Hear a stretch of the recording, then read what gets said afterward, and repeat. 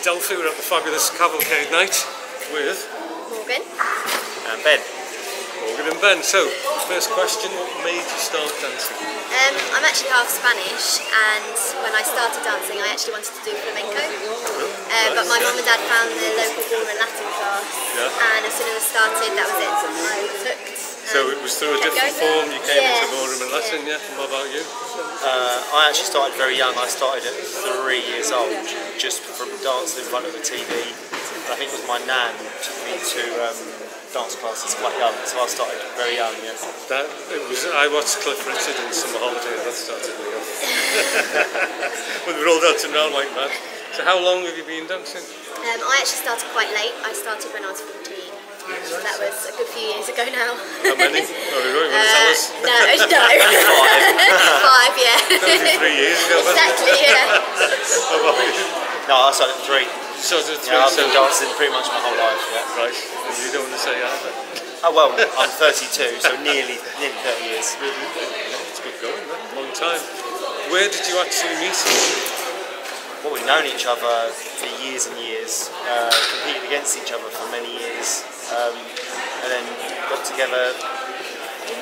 Yeah, three, pretty much three years So ago more or less on the circuit. Yes. Yeah, we've known each other for years. Yeah, Yeah, yeah. yeah.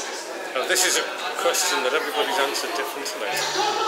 What is your favourite dance? Um, it's between rumba and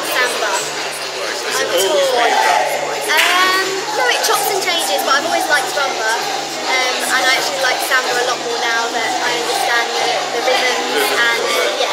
Yeah, what about you? I think my most natural and enjoyable dance is jive. Yeah.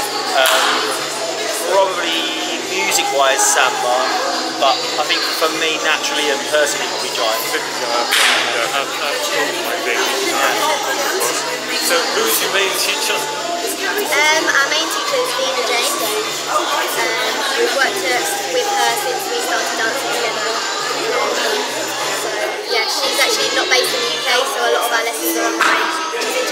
Right, so you have to go to wherever. She lives well. She's actually travelling all over the world, but the majority of the time she's in Denmark. So we yeah we zoom in sort of weekly to her. Well, you have to fly out there. No, we No, zoom we is in. like oh, we, online. do, we do online class Like- like, like a Zoom or- Yeah, yeah. Right, so do you have lessons over the, over the video? Yeah, Yeah, right, yeah. That's good. amazing, yeah. Brilliant. So, um, what do you think of the cavalcade night? Oh, brilliant. We did it last year together. Yeah, uh, you so it's our second year together this year. Yeah, beautiful venue.